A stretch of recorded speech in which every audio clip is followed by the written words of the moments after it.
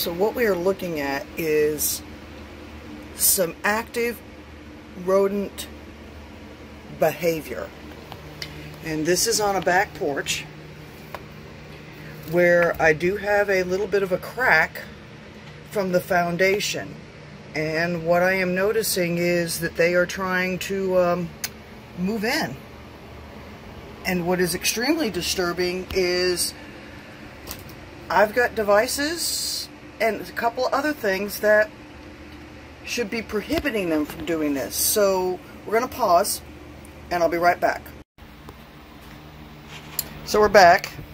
My trusty companion, Ginger, is here to help to make sure that something decides to break loose. She'll be on it. Maybe. I also want to come over here and show y'all this my A24 but what I really hope I can um, zoom in and show you guys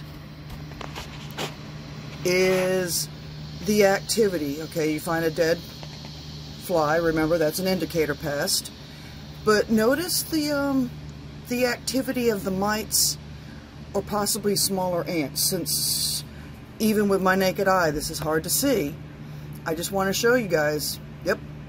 Here you go.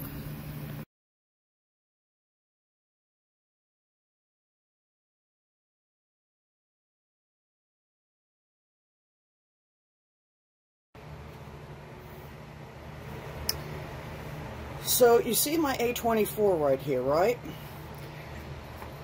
Let's do some checking. One. All right. Here's the bait.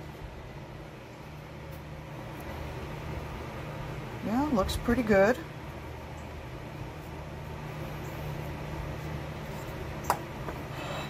I know I just put a fresh one of the CO2 tanks in, but what I'm wondering is, is why it's not tripping. That tells me it's alive and it's active. So now I'm really curious why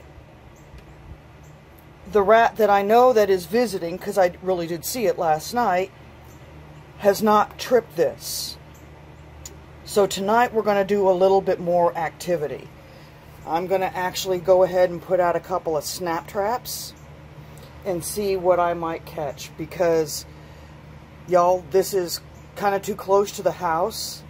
My dogs have told me that we've got activity. You've seen the images. I've got activity and yet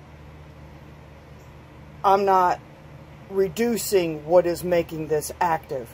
So more to come, but I wanted to keep you guys informed. This is what's happening at Janet Hurley's home.